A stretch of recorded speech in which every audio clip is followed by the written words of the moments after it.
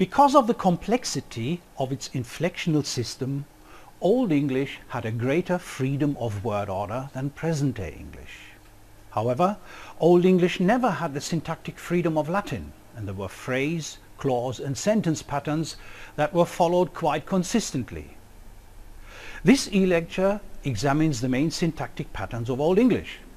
We will discuss the central issues of word order in Old English.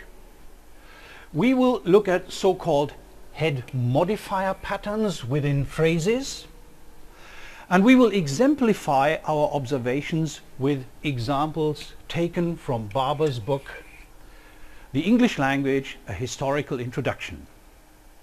So let us start with some sentences within a short text where we can discuss several aspects of Old English syntax. So here is a text and let's quickly perform a short syntactic functional analysis. This is the first sentence of the passage. Tha ich tha this el yemunde. And here we can observe an SOV structure with the verb yemunde in the final position, the subject ich in the first position and the object between subject and verb. The second sentence of the passage, Tha yemunde ich erg this sentence exhibits a VSO structure, which is quite typical if an adverbial, in this case tha, then precedes. Here is the third sentence. hu ich yeser. How I saw ich yesach, and here we have an SV structure with the object not part of this clause, but the object is the remaining passage of this little text.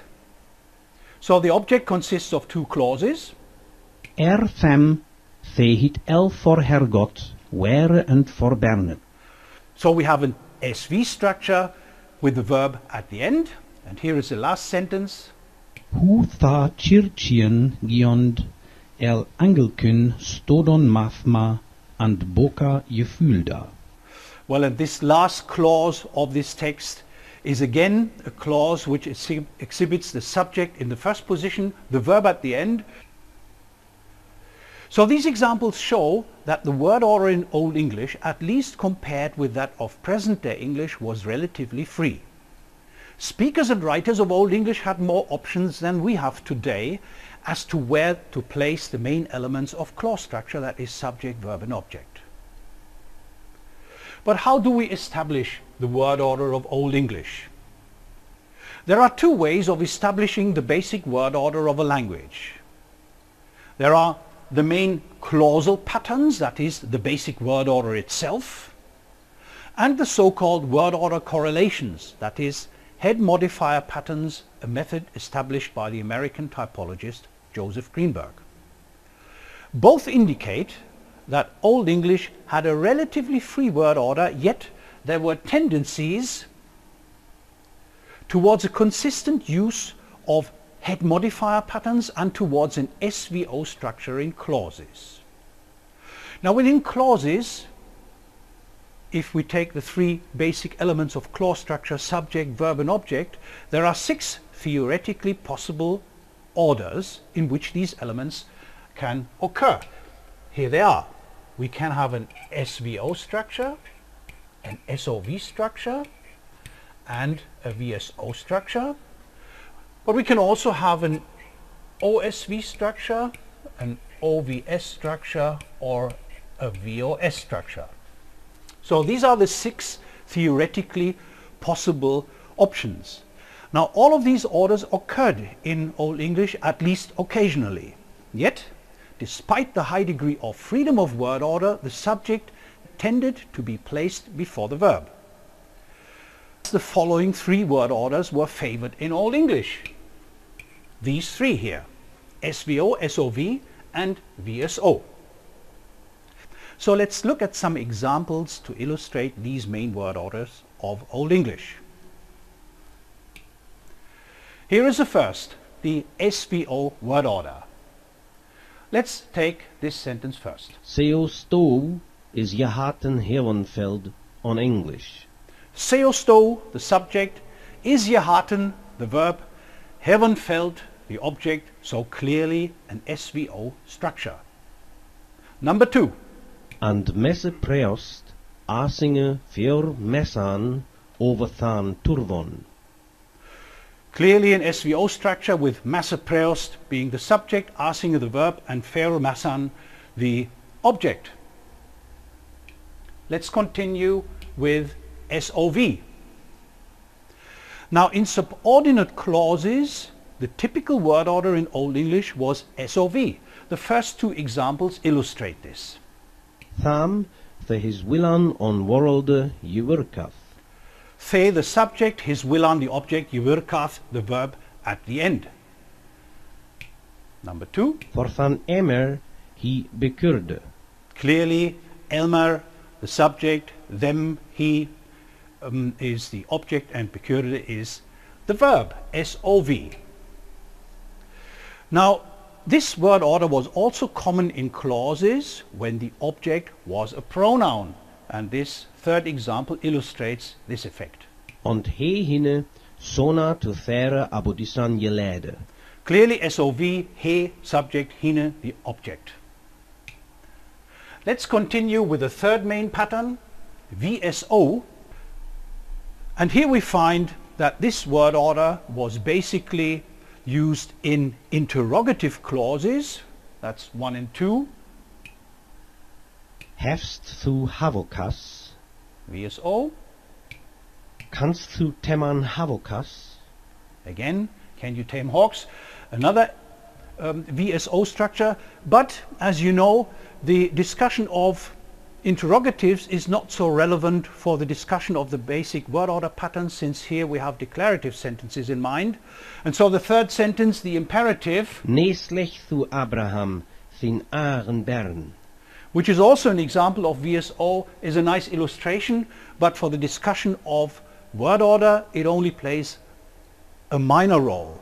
But number four is clearly an example of VSO, se feder to his theobum.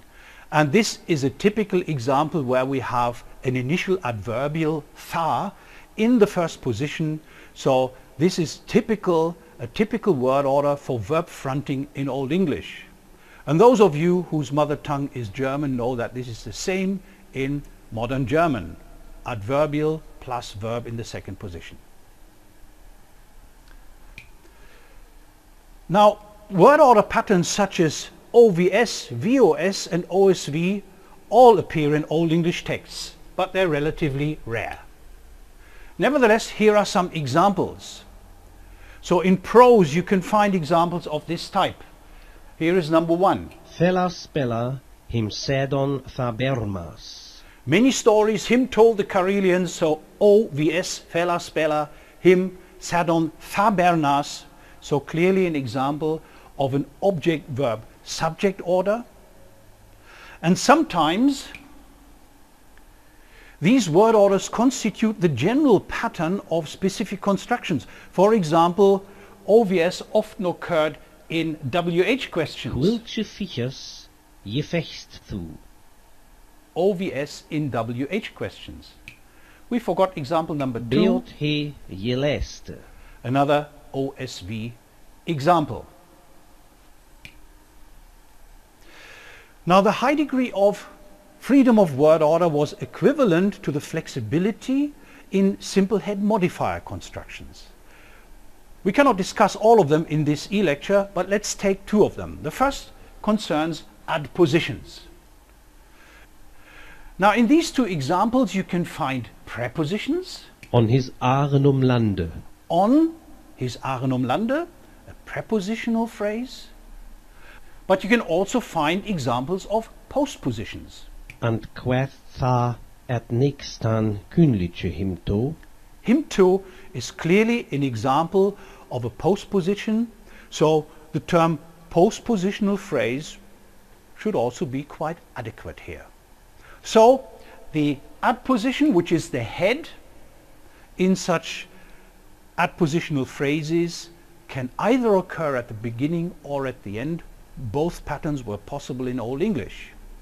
Another typical head modifier pattern is the noun adjective pattern where the noun is the head. Now here we have examples that show that both sequences are possible. In the first two we clearly have the adjective before the noun, Se goda man, the good man. mich dich drüchten, In mich dich drüchten you had again the adjective before the noun and in the remaining two examples we have the noun in the first position. Bern an Werchen, Bern an Wechen, the youthful boy, and mine feinas tweeën, my two servants, totally impossible in present day English to say my servants too. Now, on the basis of all these judgments, we can neither say that Old English had an SVO nor an SOV structure. Rather, the word order was relatively flexible with tendencies towards SVO. But in any case, it was far more flexible than at later stages of English. Let us now look at the use of sentences in more complex passages. So how were sentences formed that consist of several clauses? Well, the structure of sentences in Old English was simpler than we would find today. There was less subordination and the clauses within compound sentences, so-called coordination structures or coordinate sentences, were often simply linked by the conjunctions and and tha. And obviously stands for and and tha for then. Although Old English knew a number of subordinate conjunctions, and here are three of them, tha, which stands for when, yif, which means if, and fordan, which means because. Although Old English knew these subordinating conjunctions, it lacked the rich array of conjunctions of present-day English. Furthermore, the system of relative pronouns was poorly developed. Over and above these basic properties of sentence structure, there were a number of interesting additional syntactic aspects of Old English, including the use of the subjunctive and the use of double negation. Now, the development of word order in Old English was accompanied by a development that is referred to as case syncretism. Case syncretism is a technical term for the weakening of the case system of a language. Old English nouns, as you can see here, had four cases. We discussed them in the e-lecture Old English Morphology. Yet, the Old English case system had already begun to undergo syncretism. For example, in the plural, we had the form Königas in the nominative and in the accusative case. And in some cases, the case I chose here, we have the same in the singular. Case identity in the nominative and the accusative in the singular. Now this convergence of cases where König could now be interpreted as nominative or as accusative in the singular and as, the affix as, in the paradigm Kuning stood for the plural nominative and the plural accusative. Now this convergence of the nominative and the accusative case was the main impetus for the fixing of word order in Old English. The distinction between subject and accusative objects could now only be drawn on the basis of word order. If you want to look at more examples and if you want to analyze further syntactic patterns of Old English syntax, consult the Old English entry in the language index and look at the details. Here it is. Now in the language index you have several texts which are transliterated to which you can listen hi jefengon, mikle herrehuth, You can look at the syntactic functions in such a text. You can look at extra patterns, additional patterns such as postpositions, uh, specific word order patterns, brace constructions. And you have the choice between several texts. The first one, the Anglo-Saxon Chronicle, is from the late 9th century. It was taken from the Parker version of the Anglo-Saxon Chronicle. And the second one that you can see here now has been taken from the Battle of Maldon, a short excerpt that was written in the 10th century. And again, you can analyze the text as it stands. You can listen to it. You can look at the syntactic functions, a functional analysis, and you have access to additional analyses. Here, for example, the auxiliary verb brace construction and additional patterns such as adverbial positioning. Well, let's summarize. Old English syntax was in many ways far more flexible than present-day English. Its word order was relatively flexible and phrasal patterns allowed more variation. However, by the end of the Old English period, several syntactic patterns had already become more or less fixed. This development was accompanied by a reduction of the Old English inflectional system. And this development continued during the Middle English and the early modern English periods morphologically and syntactically, a development which will be examined in two further e-lectures about the historical development of English syntax. So see you there.